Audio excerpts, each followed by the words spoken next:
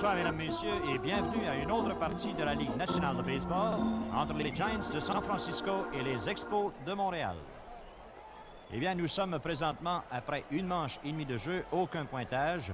Et au bâton pour les Expos, nous retrouvons le numéro 3, qui joue au premier but, bien entendu, Bob Bailey. Le first baseman number 3, Bob Bailey at bat.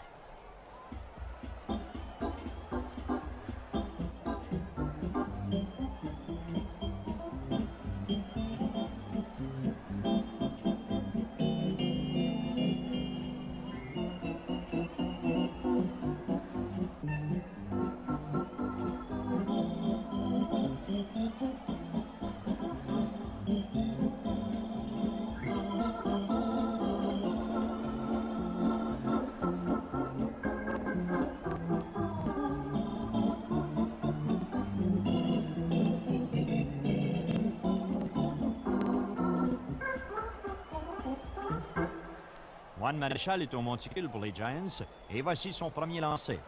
C'est une fausse balle expédiée dans les estrades du champ gauche. Maréchal reçoit la balle de son receveur et voici son deuxième lancé. Bailey la frappe encore une fois, mais cette fois dans le filet, derrière le marbre.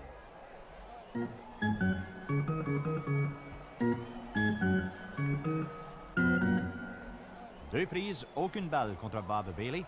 Voici le troisième lancé. Et c'est un coup sûr au champ droit.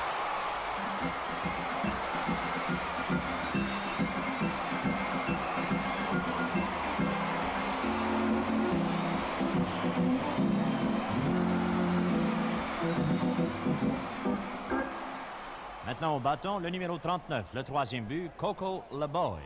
Coco LeBoy, the third baseman, number 39. Le premier lancé de Maréchal à Coco LeBoy et c'est une balle beaucoup trop haute. LeBoy attend toujours le deuxième lancé de Maréchal qui prend bien son temps vu l'importance du match. Et voici ce deuxième lancé. Et LeBoy frappe. Elle est loin. Elle est loin. Et c'est un coup de circuit par-dessus la clôture du champ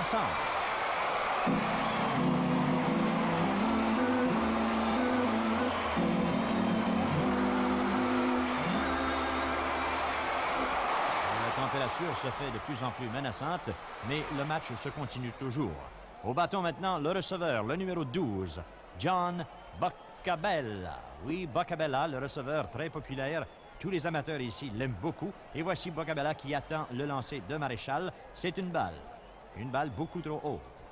Maréchal reçoit le signal de son receveur. Voici le deuxième lancé. Et c'est un autre coup sûr réussi par John Boccabella. Deux hommes sur les buts, deux hommes de retirés. Prochain homme au bâton pour les Expos, Bobby Wine, le numéro 7, l'arrêt court. Batting for the Expos, the shortstop, number 7, Bobby Wine. Juan Maréchal fait sa motion, voici le lancer. Et Wine frappe directement au premier but qui n'a qu'à toucher au sac et Wine est retiré. Donc à la fin de cette manche, les Expos mènent 2 à 0. Mais un instant, je pense que la pluie va arrêter le match, car en effet, les préposés au terrain s'avancent avec la toile et recouvriront le terrain, car la pluie tombe de plus en plus fort maintenant et le match est définitivement arrêté.